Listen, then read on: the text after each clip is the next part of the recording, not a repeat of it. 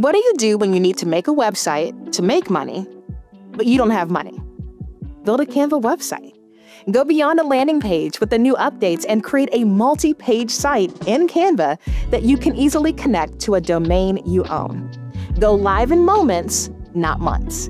Easy drag and drop builder, no coding required. If your site needs a glow up and you don't have a budget for a designer, this tutorial is for you. Without further ado, let's hop in.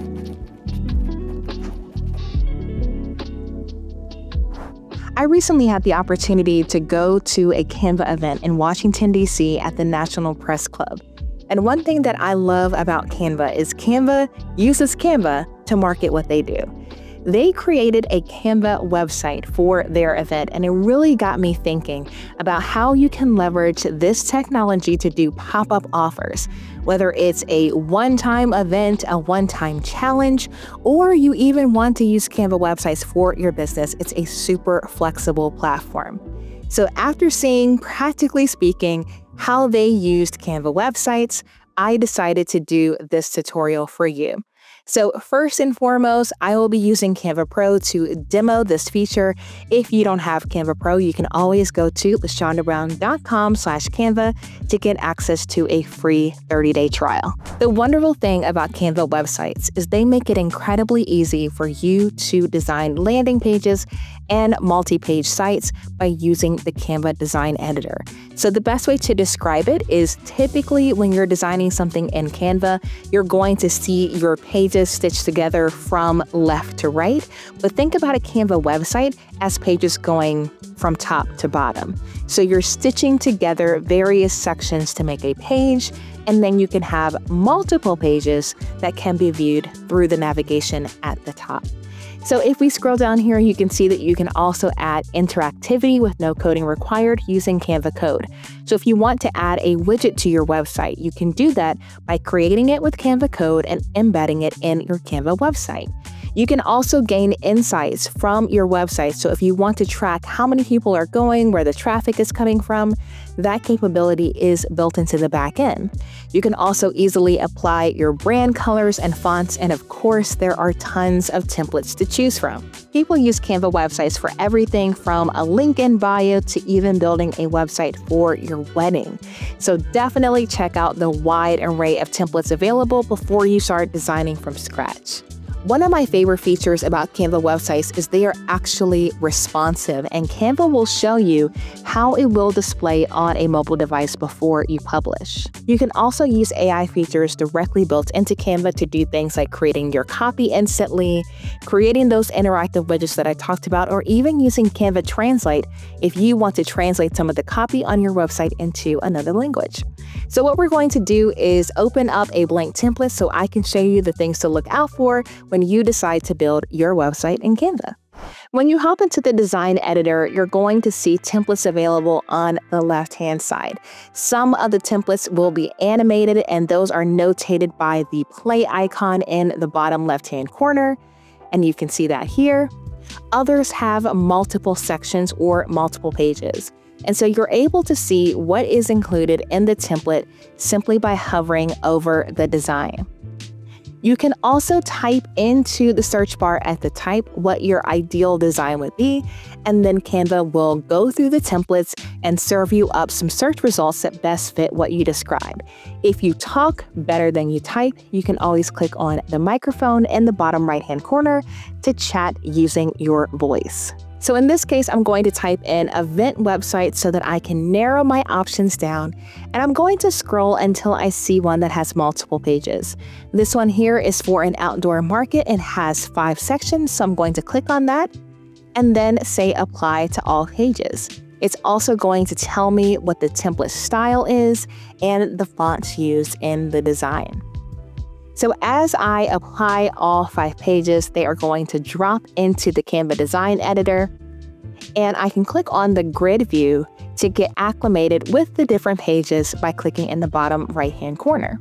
Now, an important thing to note if you are building a multi-page site is the way that you notate what the pages will be in the navigation is what you name your pages in the grid view. So what we're going to do is we're going to hover over the thumbnail until that icon appears with the pencil. and then we're going to type in what the name of the page is. So in this case, we're going to say home. This can be about us. Uh, then we're going to say uh, partners. This can be visit us. And let's see, what's the context for this? Uh, survey. So this we can call survey. Okay, from there we can double click on the thumbnail to send us back to the home page. And you can see here that this is actually one page with all of the different sections built into it. If you want to customize any of the elements in the design, all you have to do is click on them. So you can change everything from the photos to the text to the colors to fit your branding. So if I double click here, it's going to work just like any other Canva template. If I want to replace the images with images from Canva, all I need to do is go to photos, describe what I'm looking for, and then drag it into the design. So in this case, um, this says outdoor market, zero waste, but maybe I want farmers instead. So I'm going to type in farmers and I'm going to take that image and drag it into the space. And that's going to automatically resize to fit the frame that was previously occupied by the template photo. You can also bring in videos, so if you wanted to do video backgrounds for your sections, you can search Canva and pull in videos to choose from. You can also animate different sections by clicking on that object and then selecting animate at the top. So if you want to add some text effects or some photo effects, this is how you would actually do that there. Another thing that's really awesome about Canva is if you're pulling in your own imagery and you want to edit it, you do have a photo editor built directly into Canva. So say for instance, if I go to one of my uploads and I select a picture here, if I want to edit this image, all I need to do is click on edit at the very top, and that is going to give me some options if I click on adjust. I can do an auto adjust or I can fine tune it. Everything from the white balance to the lighting to the color to even the texture at the bottom. Now we need to think about actually publishing the design. So when you're ready to publish, there are a few things that you can do. In the top right hand corner, you can click on preview. When you click on preview, the default is going to be the view of your website in a desktop format. But if you want to see how it's going to resize on mobile, number one, make sure that that is selected at the bottom. And then you can click on the phone icon in the top right hand corner to see how it will resize on your phone. So if there's anything that you want to change, you can always go back and edit it once you have previewed it. You have an additional option at the bottom that says Include Navigation Menu. And you can see here, once that is selected, it's going to add a navigation to the top based on what we named our pages in the grid view. So if you want that navigation, again, make sure that it is selected at the bottom. Once you've previewed your site and you feel very strongly about how it looks, you can go ahead and click on Publish Website in the top right hand corner. Every Canva account has a built in domain. Mine is bootstrapbizadvice.my.canva.site. And then it's going to give you a slash that you can customize. So in this case, it is slash outdoor market, but I could name that whatever I wanted to. If you want to connect your Canva website to a domain you own or you want to purchase a new domain, what you're going to do is click on the pencil icon and then click on the purple text that says Get a New Domain. From there, you will see where you can connect your domain from a third party, or you can buy a new domain directly through Canva.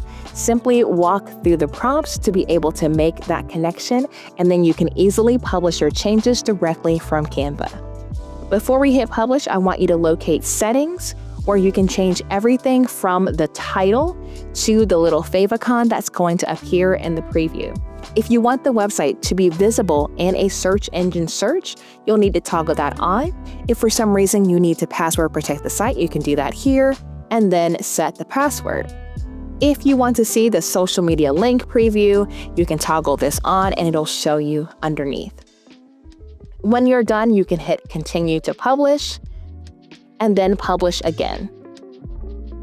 From there, it's going to prepare your design and then publish your site. An important thing to note is you can always make additional changes to your site after publishing. You just simply go back into your design and click on Edit Design.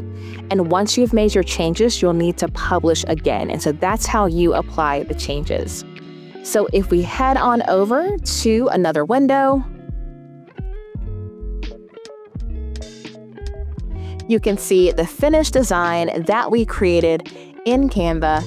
There are tons of elements that you can add to your Canva website, anything from shapes to buttons to graphics, even charts and forms. In a video coming up, I'm going to do a deep dive into Canva forms, but just know if you need to capture information directly on your Canva website, you can create a Canva form and that information will be dropped into a Canva sheet.